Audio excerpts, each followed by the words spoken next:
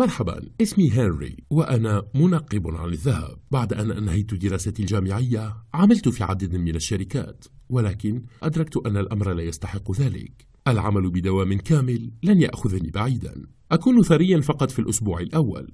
ثم كنت أنتظر راتب الشهر المقبل. لذلك قررت أن أصبح منقبا عن الذهب أنشأت حسابا في تطبيقات الإنترنت ولم أضع سوى النساء الأغنياء في منتصف العمر. انتهى بالأمر بمقابلة ساندرا. من الواضح أن لديها القليل من حشو البوتوكس هنا وهناك ولكن بشكل عام كانت جميلة. ذهبت لمقابلتها في منزلها الذي كان أشبه بقصر. كانت ترتدي فستانا أحمر وساعة رولكس قيمتها على الأقل 200 ألف دولار. رائع. عندما رأتني ابتسمت وقالت أنت تبدو أفضل من الصور. تناولنا عشاء متكونا من شرائح لحم ونبيذ تم إعداده من قبل رئيس الطهاة الخاص بها. ثم أمسكت بي وقبلتني. ساندرا لم تكن غبية. كانت تعرف أنني أواعدها لأجل المال لكنها كانت بحاجة لشخص بجانبها لأنها كانت وحيدة بعد وفاة زوجها قبل عشر سنوات. بعد شهر من المواعدة دعتني للعيش معها. كنت سعيدا جدا. كان لدي كل ما تملكه. المال والسيارات. وهذا يعني أنني لم أعد بحاجة للعمل. يمكنني الراحة طوال اليوم وقضاء الوقت معها. ولكن بعد ذلك التقيت بابنة ساندرا. ماندي كانت مثيرة بشكل لا يصدق. اعتقدت أنها سوف تكرهني لأنني كنت أصغر من والدتها. لكنها قالت إنه عالم قاسي ولا ألومك لكونك ماديا. واو كانت منفتحة للأمر. وهذا ما شجعني على اتخاذ الخطوة التالية. ذات ليلة بعد العشاء كانت ساندرا تجري بعض المكالمات.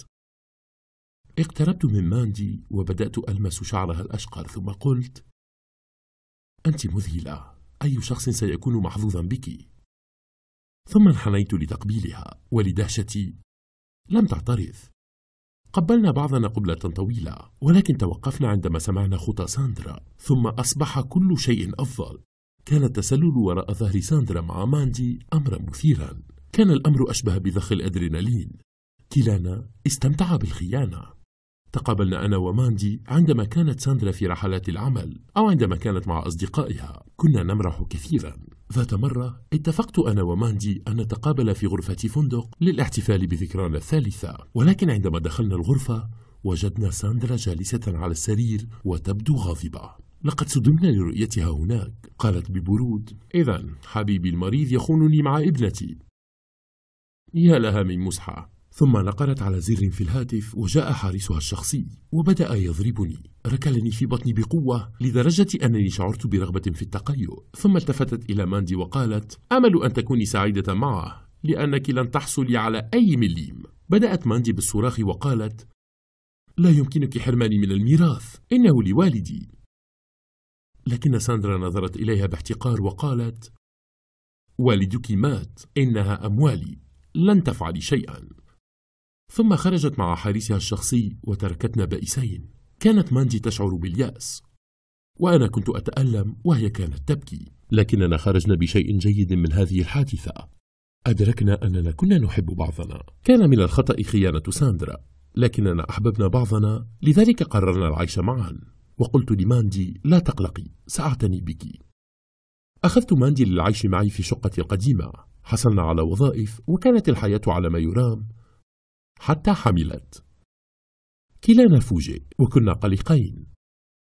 سألت ماندي كيف سنعتني بالطفل؟ نحن لدينا بالكاد ما يكفي لنأكل. كنت قلقا بشأن هذا أيضا. لكنني حاولت مواساتها وقلت لدي بعض المدخرات ويمكنني أن أعمل في وظيفتين. لا تقلقي ولم أكن أعلم أن كل شيء سينهار من هنا. أنجبت ماندي طفلة جميلة سميناها نيكول. توقفت ماندي عن العمل لرعايتها. ثم ذات صباح اتصل بي مديري وقال أنا آسف لكن سنستغني عنك. صدمت. سألته لماذا؟ فقال أن القرار جاء من المدير الأعلى. إذا لم نطردك سنفقد أحد أكبر عملائنا ولا يمكننا المخاطرة بذلك. تلك العجوز الشريرة. أنا متأكد أنها وراء ذلك. آه إنني أكرهها. توسلت إليه وقلت أن لدي عائلة وأنتظر طفلا. لكنه لم يرحمني. لقد طردت. حاولت أن أقوم بوظائف مختلفة. ولكن الأجر الذي حصلت عليه لم يغطي الفواتير وضروريات الطفل. فجأة لم نستطع البقاء في شقتي القديمة. انتقلنا إلى مقطورة وبعد ذلك انتهى بنا المطاف في ملجأ للمشردين. كانت الليلة الأولى مرعبة. أناس من جميع الأنواع ينامون في نفس الغرفة. كنت أخشى أن تمرض نيكول بسبب قذارة المكان وكانت ماندي خائفة أيضا. في الليلة الرابعة لم تستطع ماندي تحمل ذلك. صرخت في وجهي وقالت لا أستطيع تحمل هذه الحياة الرهيبة. أنت السبب في هذا؟ أنا ذاهبة. ماذا تقصدين؟ أقصد أنني سأعود لأمي. كان من الخطأ الهروب بسبب حب غبي. سأخذ معي نيكول. لم تنتظر إجابتي وأخذت نيكول وخرجت. في الأسبوع التالي تلقيت أوراق الطلاق. حاولت الاتصال بها لكنها لم ترد على الهاتف. يبدو أن ساندرا وافقت على استقبالها بشرط انفصالها عني. لقد فقدت عائلتي وأصبت بالاكتئاب. عشت في الشوارع لأشهر. ذات يوم كنت أشرب قهوة ولاحظت أن رجلا عجوزا كان على وشك السقوط. كان يستخدم عكازه وانزلق ذهبت لمساعدته وبعد أن أجلسته قال لي شكرا أيها الشاب. هل ترغب في تناول الإفطار معي؟ كنت أتذور جوعا. لذلك وافقت. جلسنا في المقهى وتحدثنا لساعات. وأخبرته بقصتي كاملة. أعتقد أنه لدي وظيفة لك إذا كنت مهتما. نعم سأقوم بأي شيء. وتبين أن هذا العجوز هو واحد من أغنى رجال الأعمال في المدينة. حصلت على وظيفة في شركته براتب قدره عشرة آلاف دولار. كنت متحمسا. لم أرى هذا المال من فترة طويلة. بدأت العمل بجد لأثبت له أنني أستحق الفرصة. وفي عام أصبحت مديرا تنفيذيا لجميع شركاته كان كل شيء على ما يرام وفكرت في التواصل مع ماندي. كنت أرغب في رؤية ابنتي نيكول. ولكن للأسف قيل لي أن ماندي غادرت البلاد للعيش في أوروبا.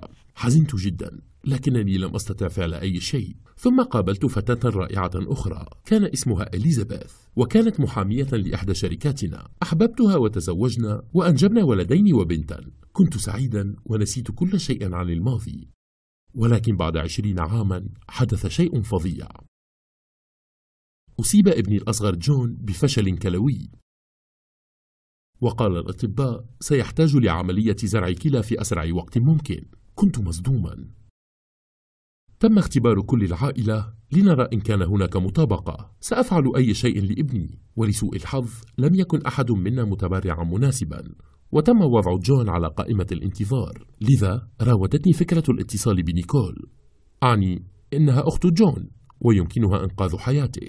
في اليوم المقبل ذهبت أبحث عنها. استأجرت شخصا لجمع المعلومات وفي أسبوع كنت أمام منزلها. طرقت الباب وانتظرت. بعد خمس دقائق فتحت ونظرت لي بغرابة. انظر من هنا. قررت أخيرا أن تتعرف على ابنتك؟ لم أكن أعرف ما أقول لكنني سألتها هل تعرفين من أنا؟ فردت بسخرية. أهلا هنري. الأب الذي تركني وذهب لعائلته الجديدة.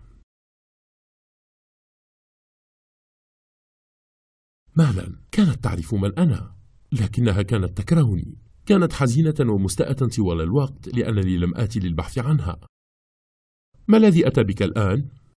شعرت بالخجل وقلت سأطلب منك معروفا اندهشت عندما أخبرتها ما أحتاجه ومثل ما توقعت رفضت بعد كل هذه السنين أتيت لتطلب مني إنقاذ ابنك؟ هل أنت مجنون؟ طبعا لا استدرت للمغادرة كان وجهها أحمر من الغضب. لكنني نظرت حولي ورأيت صورتها مع طفلين صغيرين. وقلت أعتقد أنهم أطفالك. أود مقابلة أحفادي. خذي هذا كنصيحة. اغرورقت عيناها بالدموع وغادرت دون أن أقول وداعا. بعد أسبوع تلقيت مكالمة من المستشفى وقالوا أنهم وجدوا مطابقة. كانت العائلة بأكملها متحمسة للغاية لكنني كنت الوحيد الذي عرف من هو المتبرع. قام جون بالزرع وكان يتعافى. ولكن عندما كنا في المستشفى دخلت نيكول مع أطفالها.